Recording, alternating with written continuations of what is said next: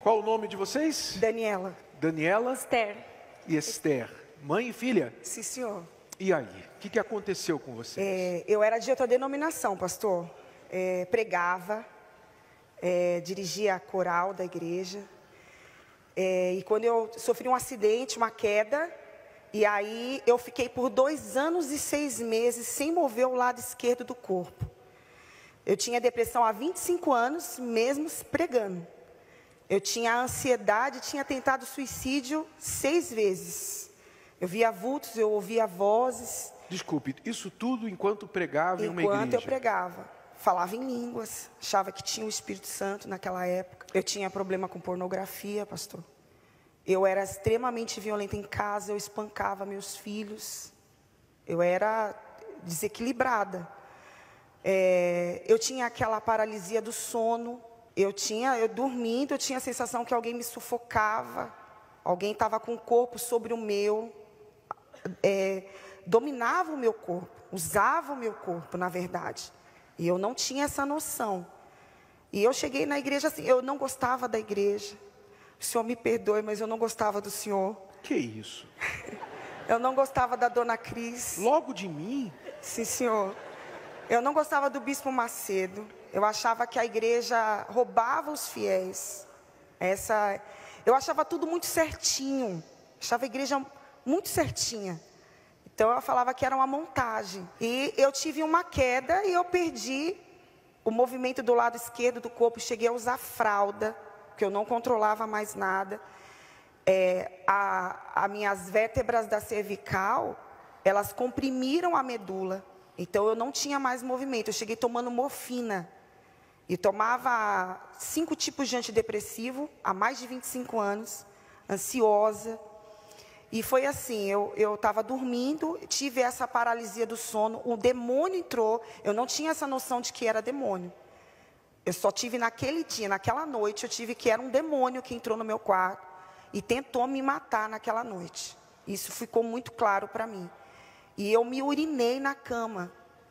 E quando acordei, meu, meu ex-marido, ele levantou, me levou para tomar banho. E não era comum ligar a televisão e ter a programação da igreja. Jamais teria a programação da igreja.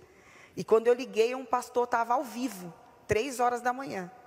E eu liguei naquele WhatsApp e ele conversou comigo.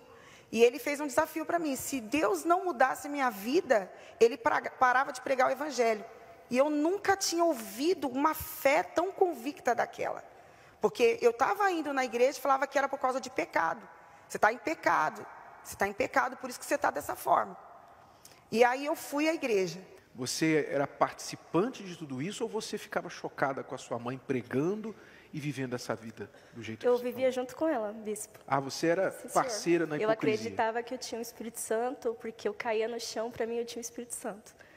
E aí era puro sentimento, né? A gente nasceu no lar evangélico, então a gente acreditava que isso era o Espírito Santo. Só que quando eu vi minha mãe daquele jeito, paralisada, eu recorri todas as todas as denominações. Eu fui em todas as denominações pedir ajuda e ninguém conseguia ajudar a gente.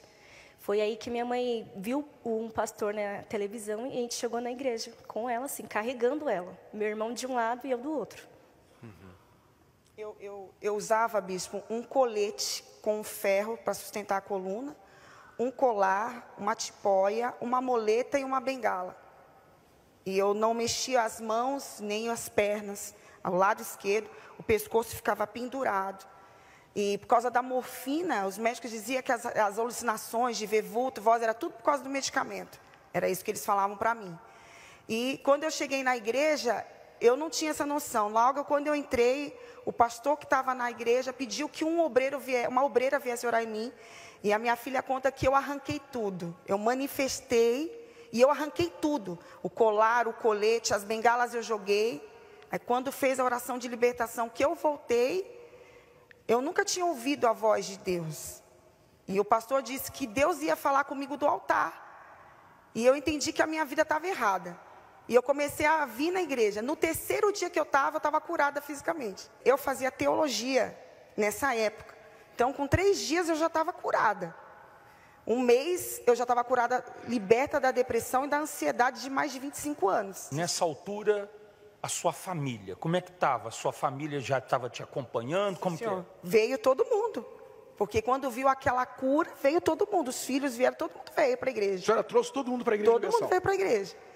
E aí, Mas ainda estava fazendo curso de teologia. estava esse senhor fazendo curso de teologia. Não na igreja universal. Não, senhor. E aí, numa aula de 3 horas, 53 minutos, o, pa- o- o pastor, né, o, o professor, acabou com a igreja. Aí eu voltei a ficar do mesmo jeito de novo. E, e a, a Esté já estava li, liberta. E eu disse para ela assim: se você for na igreja, eu te bato quando chegar em casa. Vou te dar uma surra. Toda vez que você for para a igreja, eu vou te- você vai apanhar.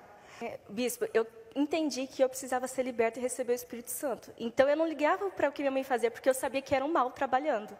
Então eu ia para a igreja, eu buscava por mim e lutava pela minha mãe. Todo dia. Mesmo debaixo dessa pressão toda. Mesmo Por que, que você decidiu ficar? Porque eu precisava do Espírito Santo. Eu precisava ser salvo. Teve um episódio de quando ela voltou da igreja, você era muito nervosa, o nervosismo voltou todo, não foi? Foi. É, ela foi para a igreja no- durante a semana, foi fazer ponto fé e ela chegou um pouquinho mais tarde. E eu fiquei tão irada que eu vi ela toda feliz chegando em casa e eu, eu peguei a bengala, bispo, eu bati nela até ela desmaiar. E quando ela desmaiou, eu ainda continuei batendo. Meu filho gritou comigo: Que ponto que você chegou, mãe? E ela levantou com marca de sangue no braço e ela não falou nada para mim. Ela não fez cara feia para mim. E o pastor tinha combinado com ela de me visitar. E eu dizia: se ele vir em casa, você vai apanhar de novo. Se você trouxer o pastor aqui, você vai apanhar de novo. E ele foi. E na hora que ele chegou, eu já não estava bem. Eu manifestei em casa de novo. Fui, aí fui para a reunião, manifestei na quarta-feira. Durante a reunião, manifestei. Aí o pastor estava pregando sobre Jó. E ele falou assim, dona Daniela, como que deu, como que o diabo entrou na presença de Deus? Como eu falei, como é que o diabo entra na igreja? Não está escrito que o diabo entra na igreja? Falei para ele. E ele falou para mim, como que o diabo entrou na presença de Deus para falar de Jó? E ali entrou na minha mente, na igreja. Ele falou: se a senhora tem o Espírito Santo, se a senhora morrer agora, esquece a libertação, esquece a cura. Se a senhora morrer agora, a sua alma está salva. Ali, bispo, eu, entendi que não. Ali eu fui para o altar e eu resolvi entregar a minha vida para o Senhor Jesus. Eu entreguei ali e eu me desfiz. Eu parei o curso, cancelei a matrícula, parei tudo que eu sabia. E começou o processo, ainda demorou uns meses, me libertei.